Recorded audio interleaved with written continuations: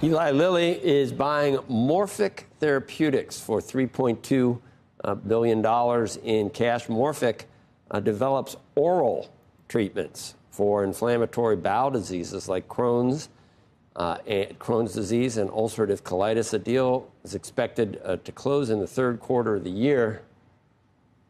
Be nice to have oral delivery for the weight loss drugs. Yeah, although you know there are some who have raised the questions about whether an oral delivery system would raise the the risk of side effects because it has to go through the gut, yeah. the gut first, and does that either raise brain, some yeah. of the risks or does it uh, lower effectiveness and different things? So. We had Gottlieb on last week talking about the rare but raised uh, risk of going blind from taking Ozempic.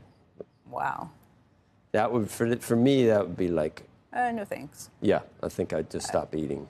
Look, it, it, again, this is a situation where it's a, a, drug that's very important for people who actually really need it, but not for sort of a vanity play if that's you're looking to lose 10 You pounds. microdose it, that's what you're going to.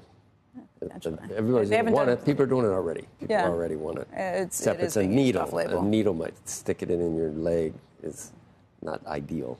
Yeah.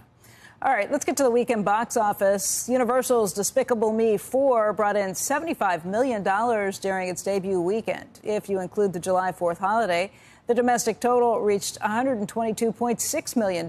With the overseas ticket sales, the total haul for the movie so far is nearly $230 million.